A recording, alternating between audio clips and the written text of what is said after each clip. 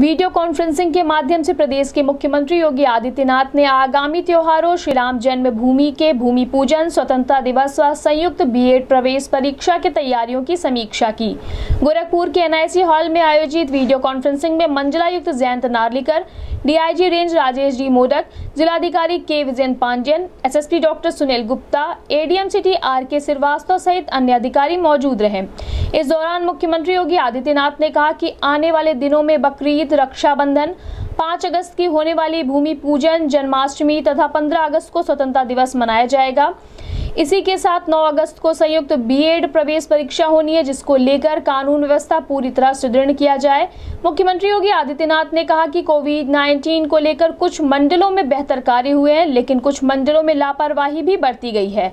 उन्होंने निर्देश दिए कि कोविड की डोर टू डोर जाँच कराई जाए, जिससे संक्रमण पर प्रभावी लगाम लगाया जा सके। मुख्यमंत्री योगी आदित्यनाथ ने कहा कि त्योहारों में सुरक्षा के व्यापक इंतज़ाम किए जाए तथा परीक्षा देने वाले अभ्यर्थियों को कहीं भी रोका न जाए तथा उनके लिए साधन की व्यवस्था की जाए।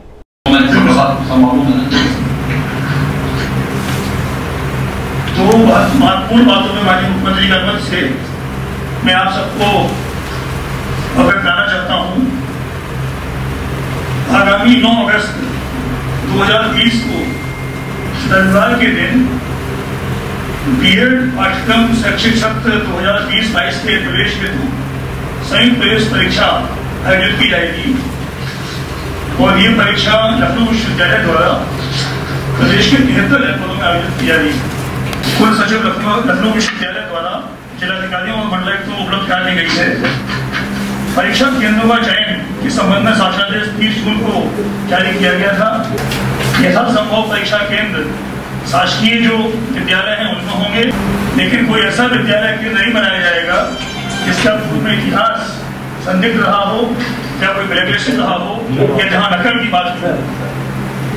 परीक्षाओं की सूचना पूरी दशा में सुनिश्चित की जाए कहीं कोई नकल ना हो इसके लिए प्रत्येक परीक्षा केंद्र पर स्टेटिक मजिस्ट्रेट की तैनाती की जाए। व्यवस्था की जाए। प्रत्येक परीक्षार्थी कक्ष निरीक्षक और परीक्षा से संबंधित सभी कर्मियों का इंफ्रारेड थर्मामीटर द्वारा शारीरिक तापमान लेने के बाद और मास्क लगा करके ही परीक्षा केंद्र में प्रवेश करने हेतु कार्रवाई की है। परीक्षा केंद्र के चारों तरफ़ दो सौ गज की तारीख में सौ चौवालीस लगा करके वहाँ कोई अनावश्यक भीड़भाड़ ना हो ये सुनिश्चित किया जाए। इसके अलावा कई बार सोशल मीडिया पर भी कई बार व्हाट्सएप पर भी परीक्षार्थियों को गुमराह करने वाले लोग कई बार पेपर के बारे में सूचना देते हैं कई बार कुछ और सूचना देते हैं ऐसी मौका निकाल की जाए जिलाधिकारी और वरिष्ठ पुलिस अधीक्षक प्रश्न पत्रों को सुरक्षित परीक्षा केंद्रों में पहुँचाने, परीक्षा केंद्रों पर शांति एवं कानून व्यवस्था कायम करने और परीक्षा समाप्ति पश्चात जो भी उत्तर पुस्तिकाएँ या जो भी पेपर के आंसर शीट्स हैं, उनको नोडल अधिकारी तक पहुँचाने हेतु पर्याप्त पुलिस बल तैनात करते हुए आवश्यक व्यवस्था सुनिश्चित करेंगे। तक आपकी जिला मुख्यालय में कैंप करेंगे और समन्वय करके पूरी परीक्षा की सामग्री की सुरक्षा व्यवस्था, आवागमन, उनका आदान प्रदान पूरी उसकी संचालन की व्यवस्था सफल रूप से सुनिश्चित करेंगे परीक्षा समाप्त होने के बाद जो पत्र हैं, वो तक हैं। जिलाधिकारी द्वारा नामित अधिकारी बाद विश्वविद्यालय द्वारा नामित नोडल अधिकारी की देखरेख में कोषागार के डबल में इस बारे में ज़ीरो आज जारी कर दिया गया है, इसके अनुसार कार्रवाई की जाए। इसमें मैं ये बताना चाहता हूँ, जिन जनपदों में बड़ी संख्या में परीक्षार्थी उपस्थित रहेंगे, वहाँ विशेष सतर्कता बरतनी होगी। सबसे अधिक परीक्षार्थी वाराणसी जनपद में, उनतालीस हज़ार। प्रयागराज जनपद में पच्चीस हज़ार तीन सौ छियासठ। लखनऊ जनपद में तीस हज़ार पाँच सौ। कानपुर इकतीस हज़ार। जौनपुर तेईस हज़ार चार सौ। गोरखपुर पच्चीस हज़ार सात सौ निन्यानवे।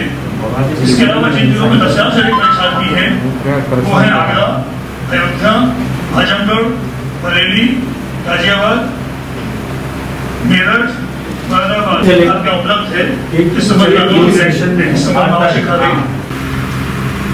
पहली अगस्त को बकरीद है तीन को रक्षाबंधन है और पाँच को अयोध्या में श्री राम जन्मभूमि पर। श्री राम मंदिर के भूमि पूजन और शिलान्यास का कार्यक्रम संपन्न होगा। दस ग्यारह के आसपास जन्माष्टमी पड़ेगी और इसके बाद पंद्रह अगस्त को स्वतंत्रता दिवस का कार्यक्रम संपन्न हो गए पाँच बड़े आयोजन हमारे सामने आएँगे।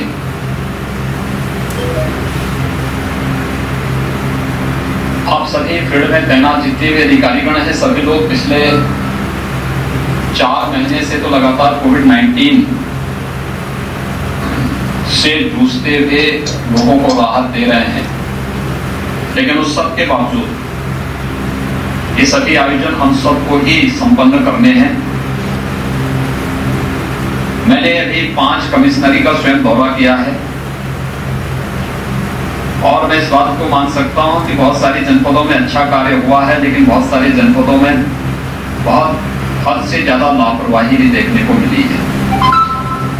मैं पहले कोविड 19 के बारे में ही आप सबसे कहना चाहूँगा कि इससे पहले कि भयावह स्थिति पैदा हो, सभी जिलाधिकारीगण इस बात को नोट करें कि कोविड 19 को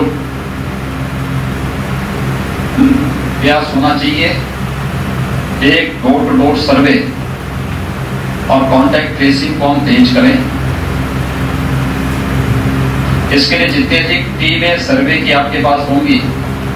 सर्वे की टीम के हर मेंबर के पास हैंड ग्लव्स हो मास्क हो सैनिटाइजर हो इंफ्रारेड थर्मामीटर हो पल्स ऑक्सीमीटर हो उनके प्रॉपर ट्रेनिंग हो।